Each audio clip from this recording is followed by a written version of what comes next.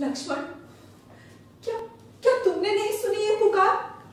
फिर फिर तुम जाते क्यों नहीं? क्योंकि मैं जानता हूँ भाभी कि भैया किसी संकट में पढ़ ही नहीं सकते।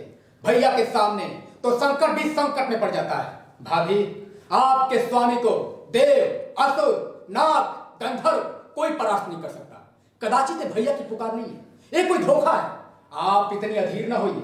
धीरज रखिए। किस प्रकार धीरज रखो?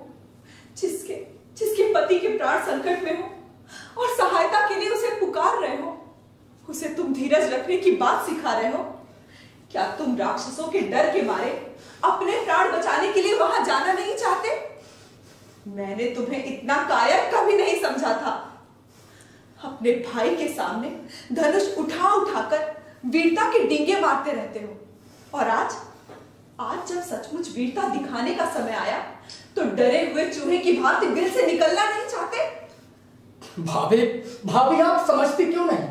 भैया पर आँच आ ही नहीं सकती। इस तीनों लोकों में इस तीनों लोकों में ऐसा कोई नहीं जो उन्हें लेश मात्र भी क्षति पहुँचा सके। ये ये किस दुर्भाग्य के कारण? आपकी सोच इतनी दुर्बल हो गई है भाभी। जिसके पति के प्राण संकट में हो उस नारी के लिए इससे बड़े दुर्भाग्य की बात और क्या हो सकती है आज आज तुम हर चरम पर उतर आए हो जिद्दी तो तुम सदा से ही थे।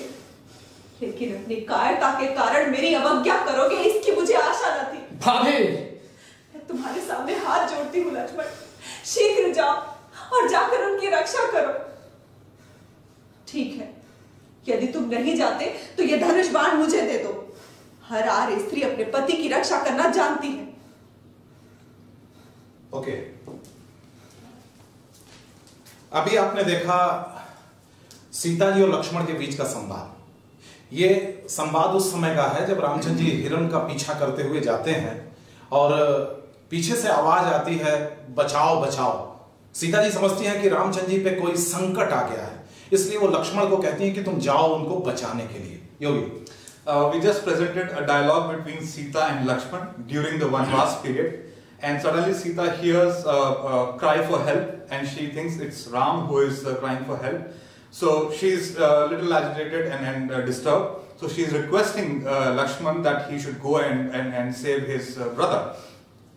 अगर हम एक्टिंग की बात करें लक्ष्मण की तो यहाँ पे अगर नौ रस की मैं बात करता हूँ तो आपने देखा होगा कि लक्ष्मण गुस्से में है यानी क्रोध रस और साथ में उनके डायलॉग्स में वीरता एक ओज एक वीरता आ रही है यानी वीर रस ये क्रोध और वीर रस दो चीज़ें लक्ष्मण के डायलॉग में आ रहे हैं So if we talk about Navarasa, in this scene, Lakshman is displaying two rasas. One is Krodh, which is anger, and other is Virta, which is uh, uh, courage.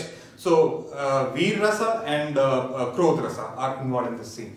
और सीता जी सीता जी करुण रस यानी उनके साथ पीड़ा है दर्द है इसलिए वो करुण रस को अपने डायलॉग में व्यक्त कर रही हैं and sita is uh, sad so she is expressing she is using karun rasa here to express that emotion in this scene.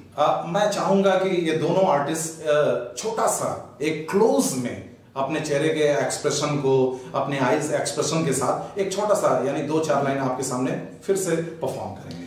So now this artist will perform the same scene और different scenes in a closeup so that you can observe how they are using their facial expressions their eyes to express those emotions and rasas which we discussed just now. बस दो line आप दो line आप और close up भैया लक्ष्मण क्या तुमने नहीं सुनी है पुकार? फिर तुम जाते क्यों नहीं? क्योंकि मैं जानता हूँ भाभी कि भैया किसी संकट में पढ़ ही नहीं सकते। भैया के सामने तो संकट भी संकट में पड़ जाता है। भाभी आपके स्वामी को देव असुर नाग गंधर्व कोई परास्त नहीं कर सकता। कदाचित ये भैया की पुकार नहीं है। ये कोई धोखा है। आप इतनी अधीर ना होइए। धीरज रखिए। ओके देवेंद्र तो अभी आपने देखा ये सीता और लक्ष्मण जी का संवाद। आगे के सेशन में और ज़्यादा इसको हम लोग डिटेल करेंगे। अभी के लिए इतना ही। So we just observe Sita and Lakshman dialogue Samvad. Uh, this is a prasang in the entire Ramayana when there one was. So in the subsequent session, we'll discuss in detail how the expressions and, and this could be performed uh, on stage. Okay. Thank you. Thank, thank you. you. Thank you. Thank you, Dani. Thank you.